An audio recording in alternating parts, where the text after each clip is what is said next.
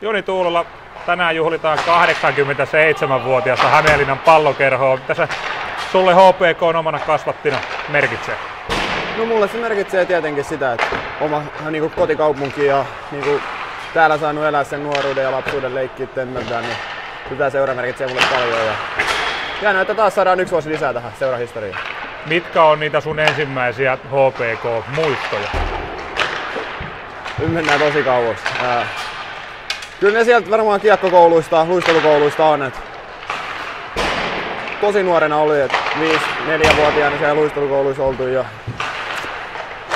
sieltä ne, sieltä ne tulee ja sieltä on tosi hyvin paljon muistoja, että sieltä moni, moni tämänhetkinen ystäväkin on vielä niin niistä just junnujoukkueista niiden kanssa kasvettu, niin hienoa, että on saanut niiden kanssa elää.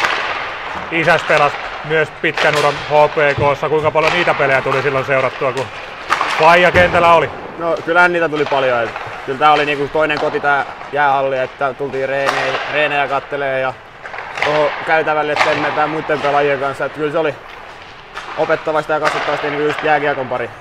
No tänään sitten S vastassa. Kuinka tärkeää on, että joukkue ei liikaa lähde siihen juhlatunnelmaan, että se on enemmän niin kuin organisaatio ja yleisön asia? No omalla tavallaan totta kai ollaan juhlatunnelmissa mukana, että hakataan tonne monta häkkiä, monta häkkiä taululle, niin ei se mitenkään muuten voida oikein tuohon juhlatunnelmaan vaikuttaa. Mutta joo, keskittymiset kyllä pitää, pitää ihan sataprosenttisesti pitää tuossa matsissa. Et kova luistelu, kamppailumatsi taas tulossa, niin pitää siinä olla valmis.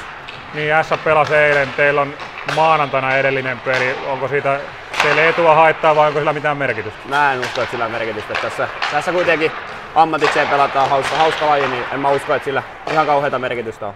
Siellä Ässätkin on uudessa projektissa menossa, kun Jyrki Aho ensimmäistä vuotta joukkuetta valmentaa. Minkä takia heillä on sun mielestä hyvin tämä alkukausi mennyt? No niin kuin sanoin, kamppailevat hyvin, luistelevat hyvin, tekevät töitä paljon. Et niistä no, niin kuin kaikki, kaikki hyvät joukkueet koostuu. Työnteko, työnteko. Että, vaikea sanoa yksittäistä, hyviä yksilöitä paljon, paljon ja se kamppailu on varmaan se iso asia siellä. Teidänkin alkukausi on hienosti mennyt. Vähän välillä sitä maalinteon ongelmaa, että olisi voinut joitain pelejä ehkä ratkaista aikaisemmin ja sitten on turhan tiukaksi mennyt vähän samalla tavalla kävi Vaasassakin. Että mistä se maalinteon tehokkuus löytyisi? Jaha, nyt, nyt kysytään vaikeita kysymyksiä, mutta tota, mä luulen, että tota, ihan vaan se henkinen rentous kun löytyy, niin me tarvitaan vähän niin kuin se ketsuppipulo-efekti, että kun se aukeaa, niin veikkaan, että se tulee vähän enemmänkin. Et esimerkiksi Kris, Kri, Vesalaisen Krisulle toivon nyt maali, että ihan hemmetisti pai, hyviä paikkoja tekee ja luo paikkoja, niin toivon ja uskon, että hän saa tänään se ensimmäisen. Hyvä, kiitoksia paljon. Kiitokset.